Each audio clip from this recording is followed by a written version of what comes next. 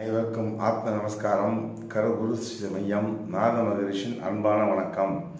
இன்று தேதி நாலு ஏழு ரெண்டாயிரத்தி இருபத்தி நாலு. அமாவாசை இந்த நாலு மணிக்கு ஸ்டார்ட் ஆயிடுச்சு.